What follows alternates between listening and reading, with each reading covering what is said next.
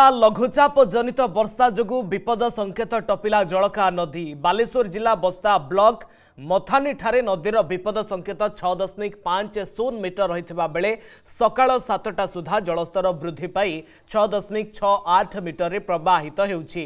ବଙ୍ଗୋପସାଗରରେ ସୃଷ୍ଟ ଲଘୁଚାପ କାରଣରୁ ଗତ ଦୁଇ ଦିନ ଧରି ବାଲେଶ୍ୱର ସମେତ ଜଳକା ନଦୀର ଉପରମୁଣ୍ଡ ପଡ଼ୋଶୀ ମୟୂରଭଞ୍ଜ ଜିଲ୍ଲାରେ ପ୍ରବଳ ବର୍ଷା ଲାଗି ରହିଛି।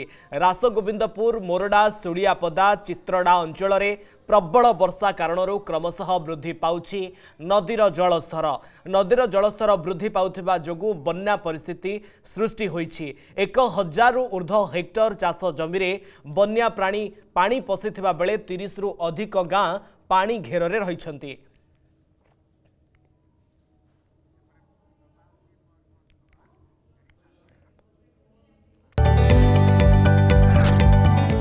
जदि आपंक आम भिडी भल लगा तेब आम चेल्क को लाइक सेयार और सब्सक्राइब करने को जमा भी बुलां नहीं।